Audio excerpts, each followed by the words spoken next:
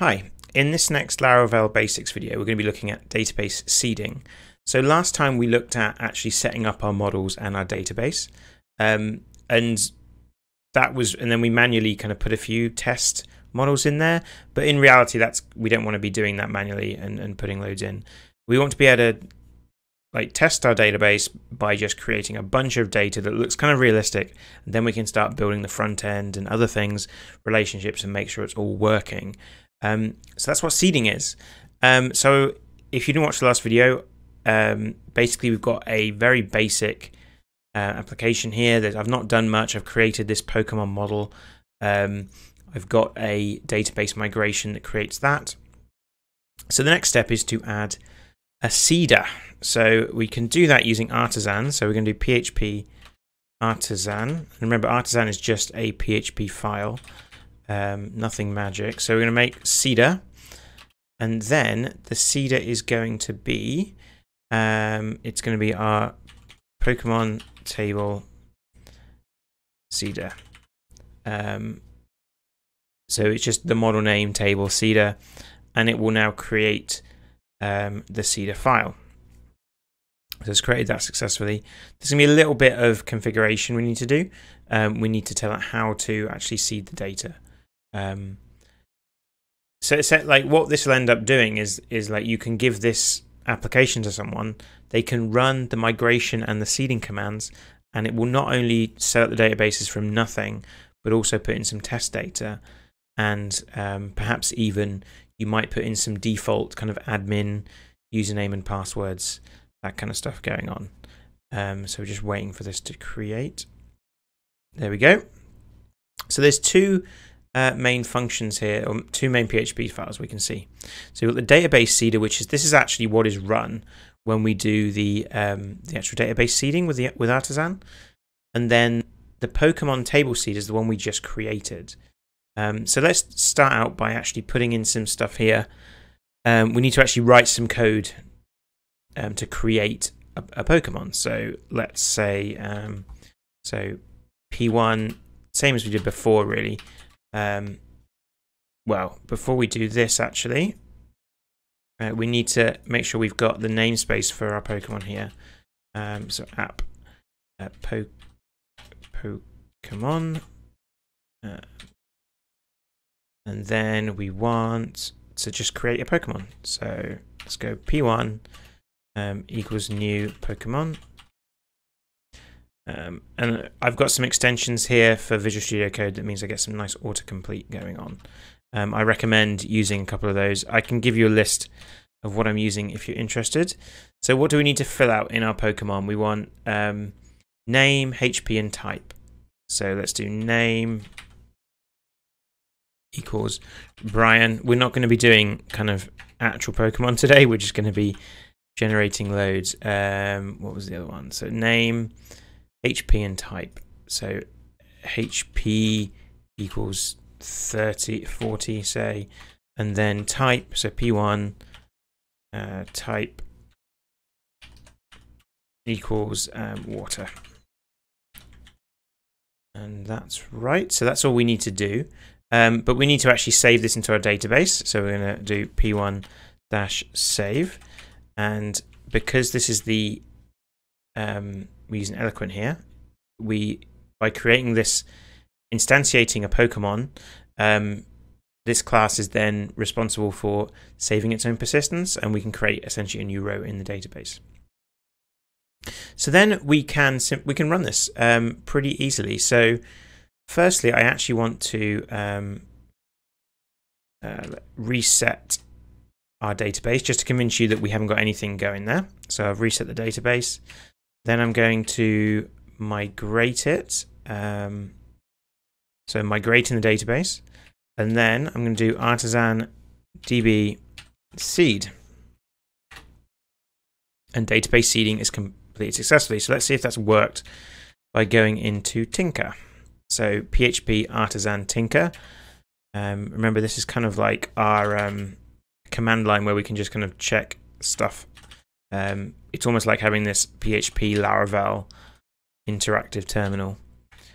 Um, so we're bringing in the namespace, and then we're going to do Pokemon uh, get. And then, okay, that hasn't actually worked. So the reason that hasn't worked, I've just realized, is we forgot to do a step. Um, so if we go to our, so I created the Pokemon seeder here. So I, I, filled out that, but I didn't fill out, I didn't go to the database seeder itself. So this is what's actually run, and we need to make sure that we include um, the the actual uh, call to actually run this Pokemon ta uh, table seeder. This is, this is like the method that's actually run um, when we call the seed. So we want to be doing this um, call, and then we want our Pokemon table seeder class. Oh, um, there we go. So now, if we go, I'm going to run uh, seed.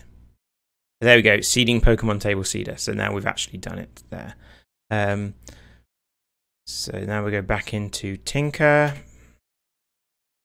And I'm pushing up to get a history of my commands so I can just um, get these up again. And now Brian is happily in our database.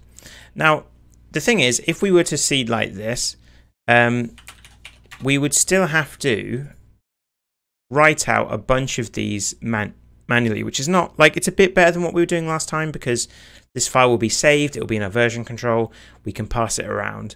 But um, what if we want, if we want to test things properly, we're going to want hundreds of models, not just one or two or even five. Like we want hundreds, and we want that data to look semi-realistic, and that's where factories come in.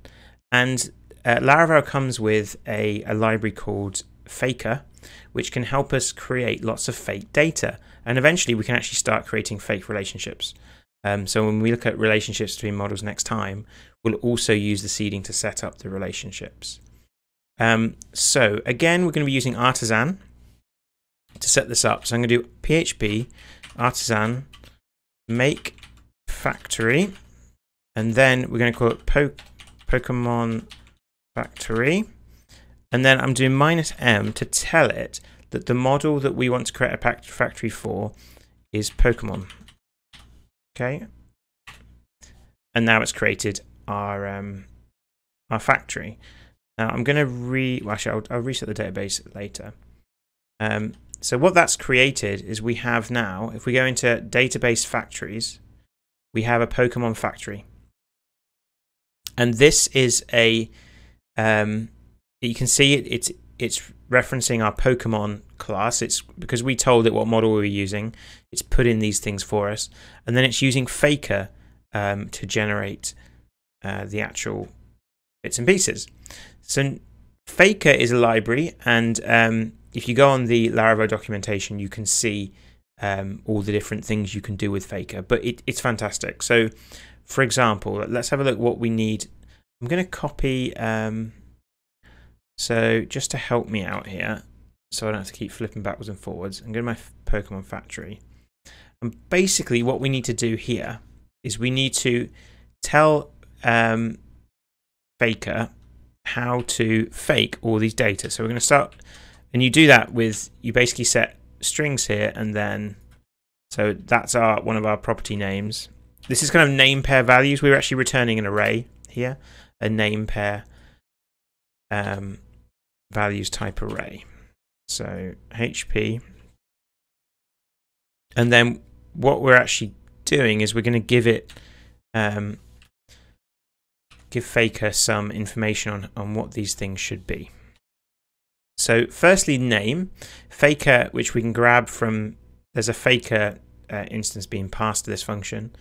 So we can just do Faker, and then we can do, there's a first name, and what this will do is it will just generate a random first name. Um, and then we want a random, in fact, what I'm going to do, I will show you the documentation here. Here we go. Okay, so this is the, the Faker documentation. And we can see um, all the different uh, stuff we can use. So I'm going to look for integer because I want to create an integer. Integer, which is not there. Int. Uh, okay, I'm just going to try. I'm pretty sure um, that there is um, random integer is one of them. So we're going to do um, random integer uh, between. So, well, this is actually, To have to Google this because we need to know how it works. So, random integer Laravel faker faker random integer Laravel. Um, I think it's important to to show this process, right? Because the thing is, you can't memorize everything. Um, so we got random integer here. So what are they saying? How can you random unique digits that oh, I don't really want that. Um, no. I don't really need a I have seen random integer before, so I don't know why it's not on here. It's weird. Random number, random element. I suppose if I go random number, there's no information about like uh, random number between. Okay, number between. So let's go faker number between, let's do 10 and 100. See if that works. Um, and then for the type, we have a, so like surprisingly enough, in the base Faker library, there isn't anything to do with Pokemon type, um, but we can create our own um, using uh, element random element. So if I do Faker, and then we can do one called random element. And what this will do, I need a comma there, because remember this is an array we're returning um, a random element, and it it's a random element out of an array that we define. So I can now put some different types in here. So I'm going to put fire, water, um, grass. Uh, let's do electric. Okay, so what it will do now, so what we can then do with this is we can say right, generate 100 Pokemon, and the name is just a random first name. Health points is a random number between 10 and 100. Hopefully, it will get that that's an int. We'll see how that works. I, I'm, I'm hopeful. Um, and then the type, well, it's one of four things. So random element, fire, water, grass, electric. Here, you might be doing something like user, like they might have um, a role or something, and you want to create a bunch of people with different roles. So the next thing we need to do is go to our um, Pokemon table seeder. And then instead, we're going to type here, uh, we're going to use the factory, um, create a model factory. So then we want app uh, Pokemon class. So we're passing the class, and then let's say 50, and then create. Um, and that will create those. So um, we're passing, so if you look at the, let's have a look at this. So we've defined this function here, right? So we've defined a, a factory that can take a Pokemon class and then this function of faker and it returns um, a whole load of a collection basically of of Pokemon and we're saying that we want 50 here. So in theory, that should work. Um, so let's see how that go this goes. So I'm going to reset the database again. So let's reset. Let's migrate. And let's seed. And that's uh, db seed. Okay, so it's seeded it. Hopefully. Let's go into Tinker and have a look.